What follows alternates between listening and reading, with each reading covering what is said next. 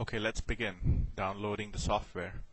Open your favorite browser and go to this link k5n.us slash webcalendar.php and uh, click on the download tab. Now we could download from the SourceForge uh, website. Click over here, it will take you to the sourceforge.net website and uh, we need to just download this particular file. Uh, for some reason it's a little slow. Okay, we are going to download the latest version of Web Calendar, version 1.2, and it was uh, updated on February 25, 2008. So let's click on the download link.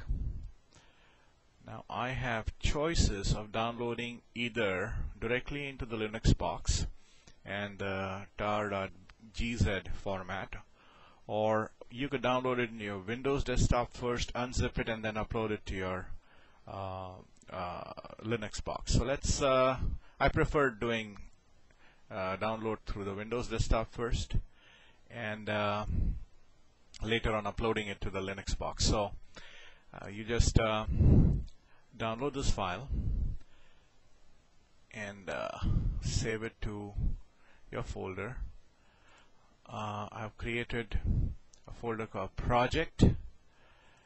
And uh, come on come on come on.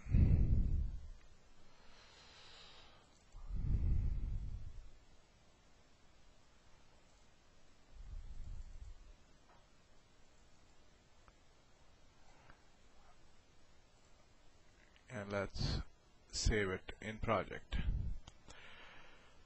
alright so it starts downloading the file and let's extract it. And uh, let's ex extract all files. And here we go.